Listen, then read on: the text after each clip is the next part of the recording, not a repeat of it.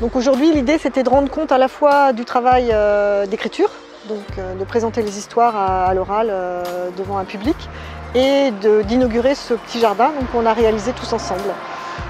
C'est un travail assez personnel. Les jeunes ont, révélé des pans intimes de leur histoire, donc je pense que ça, a touché les spectateurs.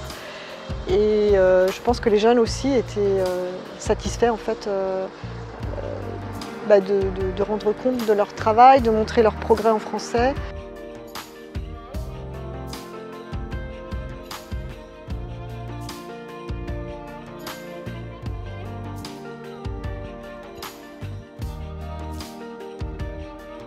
Euh, le projet des CAP+, euh, s'est initié à partir du mot euh, racine.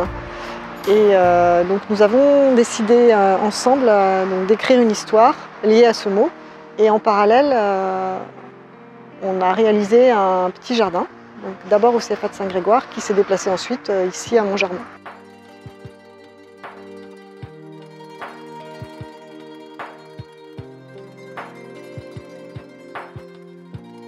Me concernant, c'est toujours un, plaisir de les accompagner.